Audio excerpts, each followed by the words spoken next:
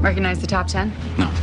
They were the students that went in front of the cameras after the bombing. I thought all the surviving students were interviewed. After the initial aftermath, yes, but these are the kids that went on talk shows, traveled to other schools. My guess is that they didn't self select who made the cut. Principal Givens did. That's why the unsub killed him first. He was an outcast who wanted to fit in. Being a survivor should have been his golden ticket. But he was excluded again, and that's why he's killing them. Yeah. Rules of high school never change, not even after a tragedy. Go ahead, Garcia. Hey, listen up. I cross referenced student files with medical records. and Now, there were six kids that were knocked unconscious in that blast, but only one fits the outcast profile.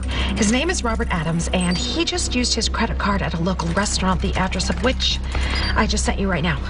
I'm on my way.